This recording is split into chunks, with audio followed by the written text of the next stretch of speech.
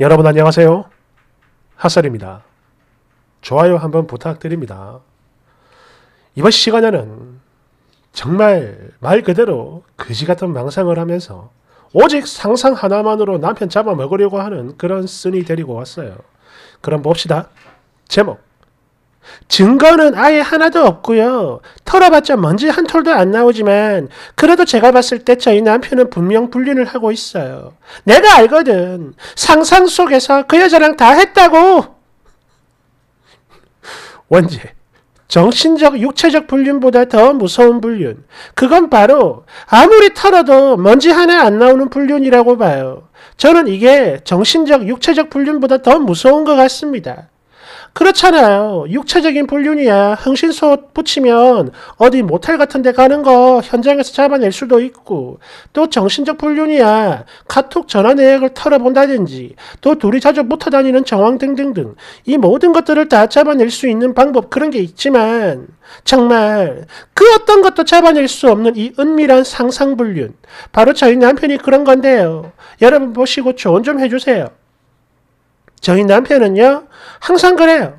퇴근하고 집에 오면 늘 지쳐 있었어요. 당연히 일을 하고 왔으니까 그런 건데, 문제는 늘 그랬던 사람이 이상하게 작년 가을부터는 지친 얼굴이 아니라 되게 밝게 웃으면서 집에 들어오더라고요.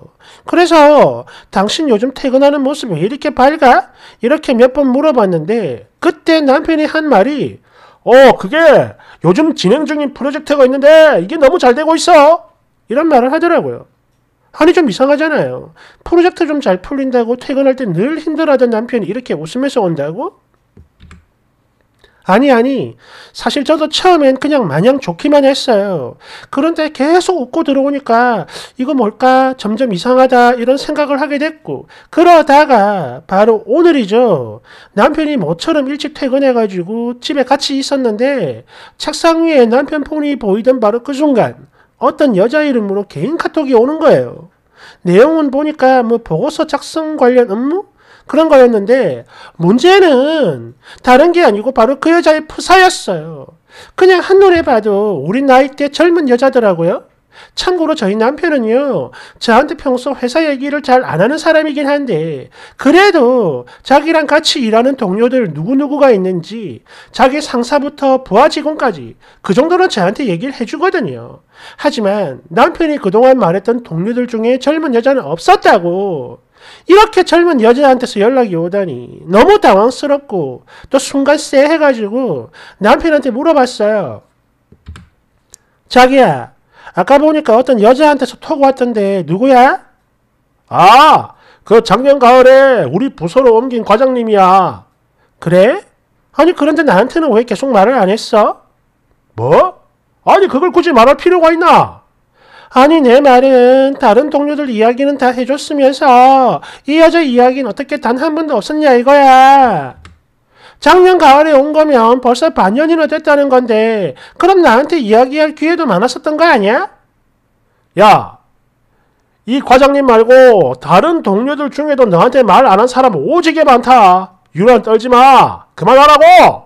적당히 해. 이러는데 바로 여기서 제가 저희 남편을 의심할 수밖에 없는 이유가 무려 두 가지나 나오죠. 첫 번째, 제가 아까도 말씀을 드렸지만 저희 남편은 작년 가을부터 퇴근길이 딱 밝아졌는데요. 어떤가요? 그 여자가 저희 남편 부서로 옮긴 시기랑 거의 똑같죠? 야이씨. 뭐 남편 말로는 프로젝트가 잘 돼서 기분 좋은 거다 그러는데 예전에 다른 프로젝트가 잘 됐을 때는 웃는 게 아니라 그냥 평소처럼 피곤하고 힘들어 했거든요. 즉 이거는 이쁜 여자랑 같은 공간에서 일을 하게 됐으니까 기분이 좋았던 거라고 해석할 수 있다 이거예요. 그리고 두 번째 이 여자의 존재를 저한테 계속 숨겨온 거.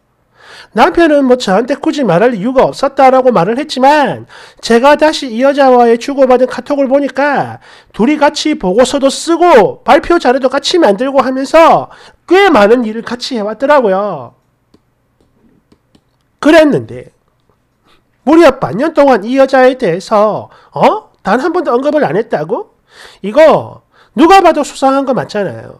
그리고 여기서 제가 제일 열받는 건 지금 남편이 하는 이 행동들이 우리가 일반적으로 생각하는 그 도덕적인 범주에서 벗어난 불륜 이런 김새가 단 하나도 없다는 거예요. 일단 저희 남편 회사 공기업이라 단 한 번도 야근이나 주말 출근을 한 적 없고요. 유연 근무제라서 집에 일찍 퇴근한 적도 되게 많거든요. 거기다 저희 남편 되게 가정적인 사람이라서 항상 우리 가정을 최우선시했고 또 혼자 외출하는 거 거의 없어요. 한다 해도 가끔 시댁에 자기 혼자 들릴 때 그때 말고는 없는데 아마 그래서 제가 흥신소를 붙여봤자 먼지 하나 안 나올 거예요. 그리고 이 여자와 주고받은 카톡을 제가 유심히 다시 봤는데요. 정말이에요. 업무적인 거 외엔 아무 대화가 없더라고요. 진짜 말 그대로 털었는데 먼지도 안 나오는 상황이야. 그런데 그럼에도 불구하고 제가 저희 남편이 불륜을 하고 있다라고 의심을 할 수밖에 없는 건 제가 봤을 때 저희 남편은 이 여자와 같이 일할 수 있는 그 자체가 좋은 거예요. 그러니 퇴근길이 그렇게 밝을 수밖에 없는 거고 또 저한테 굳이 이 여자의 존재에 대해서도 말할 이유가 없었던 거죠. 왜? 걸릴 게 아무것도 없거든. 남편은 이 여자랑 같이 일을 한다는 사실이 설레이고 하루하루 두근거리고 있는 걸로 보여요. 확실합니다. 그러니까 이 정도로도 충분히 만족이 되는 거니까 굳이 저 여자랑 뭐 따로 사적인 대화를 한다거나 만남까지는 안 가는 것 같아요. 그럴 이유가 없죠. 속으로 두근두근 하고 있으니까요. 무엇보다 저희 남편 성향이 그래요. 엄청 가정적이거든요. 그런 만큼 우리 가정을 깨뜨릴 수 있는 그런 더러운 행위 자체는 절대로 하지 않을 사람이기도 하고 또 이런 저한테 오징어 지킴이라고 하시는 분들 계실까 싶어 미리 말씀을 좀 드리자면 그래요. 당연히 그 여자는 유부남인 저희 남편에게 그 어떤 관심도 주지 않았을 거라고 확신해요. 이건 저도 압니다. 그러니까 문제는 그 여자가 아니라 바로 저희 남편이라는 거예요. 속으로 그 여자한테 관심을 주고 있다는 거라고요. 저는요, 바로 이게 참을 수 없고 역겹다 이겁니다. 여자들이야 저희 남편 그냥 시장통에 있는 오징어 보듯 하고 말겠지만 남편이 다른 마음을 먹고 있는 게 소름 끼친다 이거예요.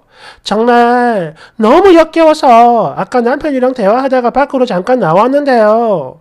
남편은 지금도 그래요. 계속 아 그 참 유난 그만 들고 집에 들어오라니까 이런 말만 하고 있어요. 찔리는 거겠죠. 다시 말하는 거지만 지금 저희 남편의 행동들 진짜 실제로 하는 불륜이나 성매매 같은 거랑은 다르게 법적이든 도덕적이든 문제될 게 없다는 거 저도 잘 알고 있어요. 그런데요, 저는 개인적으로 성매매를 하는 것보다 이게 더 더럽고 역겨워요. 그렇잖아요. 성매매 따위야. 어차피 그 여자와 관계가 끝나면 하루면 끝나는 거지만 지금 이 여자한테 느끼는 그 설렘은 앞으로도 계속 지속될 거 아니냐고요.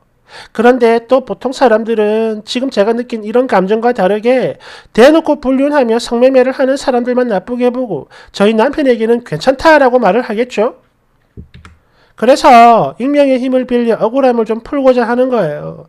혹시 저와 비슷한 경험을 하신 분이 있다면 좋은이든 뭐든 다 좋으니까 도움 좀 주시면 감사하겠습니다.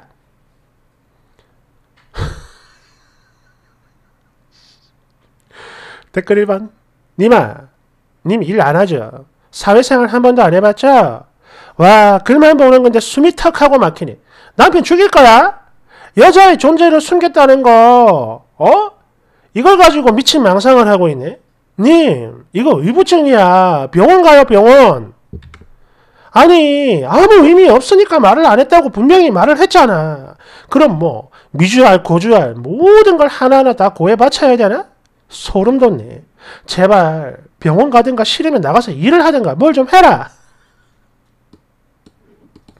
2번 야이 미친 여자야. 그 여자랑 같이 일하는 게 좋으면 퇴근길이 아니라 출근길이 밝아야 정상 아니냐? 그래 미칠 수 있어 미치는 거 좋다 이거야 그런데 제발 곱게 미치라고 이게 뭐야 이게 3번 이 여자 진짜 아무리 봐도 정신 나간 것 같아요. 물론 회사 생활 하다 보면 눈이 가는 사람이 있죠. 근데 딱 거기까지지 이성적인 감정을 느끼는 게 아니거든. 그냥 뭐 되게 잘생겼다. 그럼 얼굴 보는 재미 정도랄까? 아니 만약 네가 출근을 했는데 사무실에 차은우가 앉아있네. 그리고 그 차은우랑 매일매일 같이 일하면 회사 생활 즐겁지 않겠니? 4번 나도 남편 바람 때문에 이혼한 여자고 그래서 정말 어지간하면 네 남편 까려고 들어온 건데요. 니마 아니지요 이건 의부증이야 말기다 말기 반드시 병원 가야 돼요. 이러다 네가 아니라 네 남편 죽어. 5번 그래 무슨 이야기를 하겠다는 건지 대충 알긴 알겠어. 근데 이런 것들 다 하나하나 문제 삼고 잡아 쪽 치려들면은 이 세상에 먼지 안 털려 나올 사람이 어디 있겠냐고. 결국 마음을 줬다 치더라도 결정적으로 문제가 될 수 있는 행동은 아예 안 하고 있는 상태 아니냐고요. 대댓글. 지금 장난합니까? 저게 뭔 마음을 준 거야? 야, 정신병 환자들 왜 이렇게 많은 거요? 망상의 나래를 펼치는 유부녀들 보면 진짜 아 아니 밖에 나가가지고 일이라도 좀 하든가 맨날 집구석에 처박혀 할 짓이 없으니까 일단 거지 같은 망상을 하는 거 아니야? 6번 니마 참네 이건 불륜이 아니에요 그냥 네 망상입니다 아니 차은우가 좋다고 팬미팅 가면 그게 불륜이라고 누가 욕합니까? 안 하잖아요 참 답답한 사람이네 그리고 또 하나 그 여자가 예쁜 사람이라고 믿는 것도 그지 같은 망상이야. 한심해. 본 적 있어? 7번. 정신적, 육체적 불륜보다 더 무서운 불륜이라니. 그리고 그것보다 훨씬 더 무서운 게 바로 의부증이죠. 8번. 그게 그렇게 역겹고 더러우면 그냥 이혼을 하세요. 아니 역겹고 더러운데 어떻게 같이 살부비며 살아요? 그게 아니면 남편 회사 그만두게 만들고 네가 나가서 벌어오면 되는 거 아닌가? 9번 나도 같은 여자인데 이 여자 진짜 무섭다.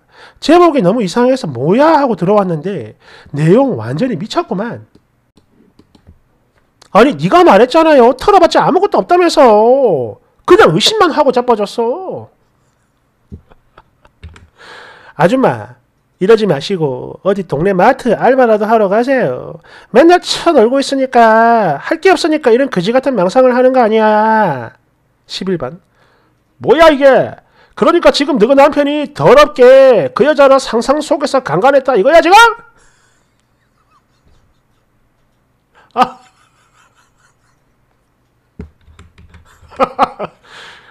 참 미치겠다. 야 이게 증, 증거가 증거가 없어서 의심을 하는 상황이네요. 야 정말 기가 찬다 기가 차. 이건 뭐 답 없죠. 어, 병원 가도 못 고쳐요. 감사합니다. 음.